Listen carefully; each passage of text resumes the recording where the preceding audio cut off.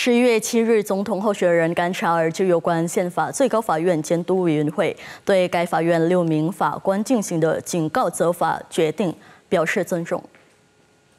总统候选人甘查尔本周二表示，尊重宪法最高法院监督委员会对该法院违反道德准则的六名法官进行警告处罚的决定。甘查尔强调，许多许多国家都是因为冲突而导致民主衰落。因此，必须坚持巩固民主。据了解，六名宪法最高法院法官被证实违反了相关规定中的法官道德和行为准则。